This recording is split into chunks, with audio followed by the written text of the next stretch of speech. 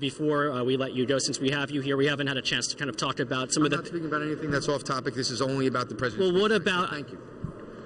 All right, so Congressman Michael Grimm does not want to talk about uh, some of the, the allegations uh, concerning his campaign finances. We wanted to get him on camera on that, but he, uh, as you saw, refused to talk about that. Back to you. Why? Let me, let me be clear to you. You have to do that to me again